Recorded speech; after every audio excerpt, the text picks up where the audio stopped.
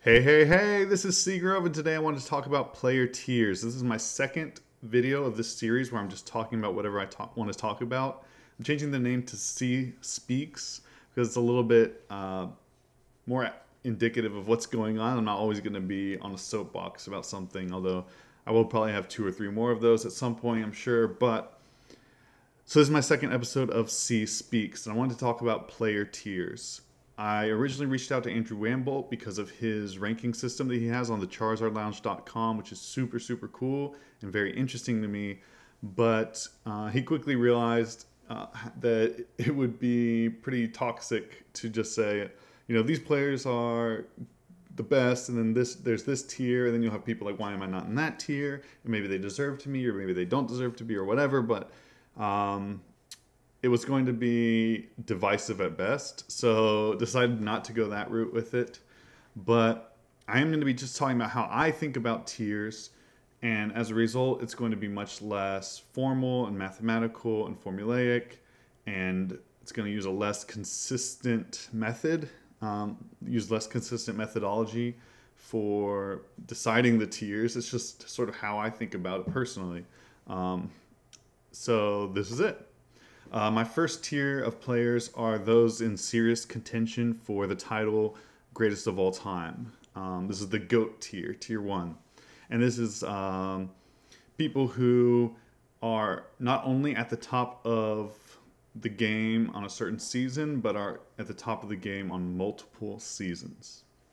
Uh, tier two, in my mind, is those players who are at that level but have not been for an extended period of time. So they're mostly players who started in the last five years and are amazing, amazing players. And if they keep playing, they could move up to the top level because they're at that skill level, but they don't have the longevity or the volume of work that the other people have put into it or have created, I should say. Uh, tier three would be guys who've taken down multiple regionals and they're contenders for top 16 every season they play in um, but they're not maybe someone that I think of or people think of as one of the top five players currently. But they're they're contenders for top 16 because even one of the top five players currently isn't guaranteed top 16 in a particular season. But so these are guys who are top 16 level. They may not get it every year, but they're always a contender for it. Um, tier four would be people who can get top 16 on a good season but are not going to get there consistently. Tier 5 would be they aren't going to get top 16. Uh, maybe this year they could with like the if you're, if you're very wealthy and they could just go to a lot of regionals and a lot of internationals, maybe then they can get top 16. But normally they wouldn't be top 16 players. Um, but they're players who don't have to worry about getting an invite. An invite is basically guaranteed for them.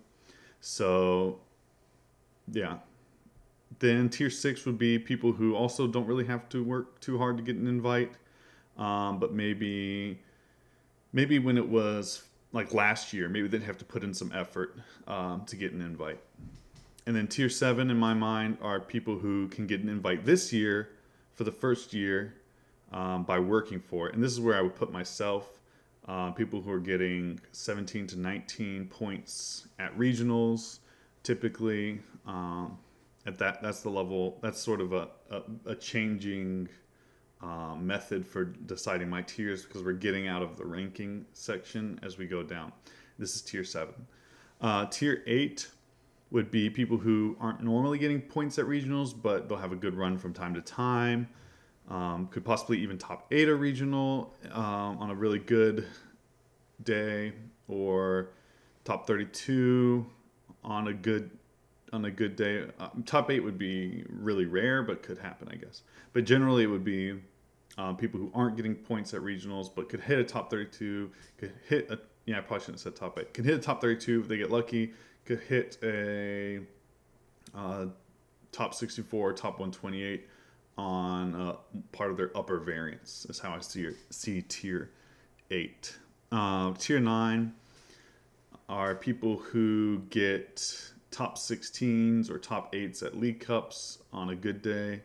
Um, typically go 3 and 2 or 4 and 2 at a League Cup, depending on the the amount of people, and then top ten, tier ten would be people who maybe do well at league challenges um, or are able to top 16 at league cups is like where they're getting their points. Like oh i got how many points do you have this season? Whatever it's primarily from league challenges and doing well at league cups and um, i actually have other tiers i think about but i'm going to stop at um, tier 10 i think i have about 15 t- five more tiers but um, those are the the with I'd say that's where the competitive tiers end. So yeah, if you want to ask me any questions about this, or if you want to, feel free to do that. If you want to um, tell me about your own tiering system, how you think about it, because my tiering system is pretty tight. Like at the top, you know, tier one is only a, a, handful of players, and tier two is not much more than that. And it isn't until um, really tier four or tier five when you'd get uh, number of players of 100. Um, so, yeah. Uh, let me know what you think in the comments below if you're interested in doing that. Um, I really like ranking systems, so this is my tier list. Thanks for watching. And if you uh, are looking for cards, you can get them at flipsidegaming.com for 10% off if you use my username, uh, all caps Seagrove. Uh, you get 10% off your cards there, and it's better than TCG Player, which is where I used to buy my cards. So check it out.